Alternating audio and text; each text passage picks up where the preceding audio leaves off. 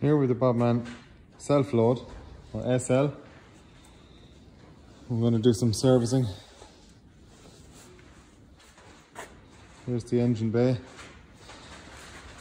Here you have your diesel filter. Unscrew this here. This cap retains that glass and you change the filter. Then that. Here's the air filter housing. The air filters change by open these clips. Pop the cap off, check the cap for dust and dirt.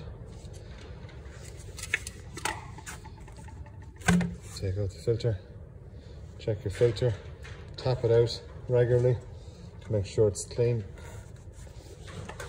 The blocked filter will affect the engine performance.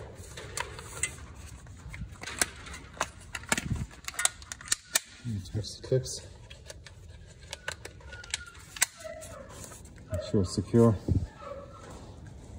That's it, simple as that. That's your fuel filter. This one here. And your air filter is there in the back. And then the oil filter, like this, is actually in the back side of the engine. Down there. So to access that, the best thing to do is come around this side, bring out your brush like that, and come in here to this engine plate, open up this. I've loosened these bolts already, but I'll just take off these three nuts, like this, and one at the bottom.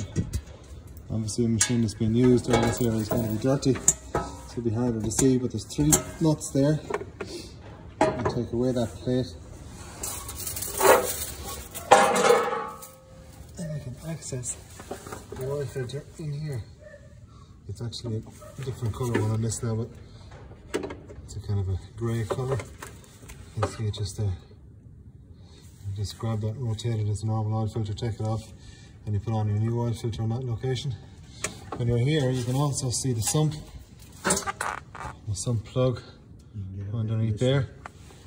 You can get that from the far side, it's probably easier.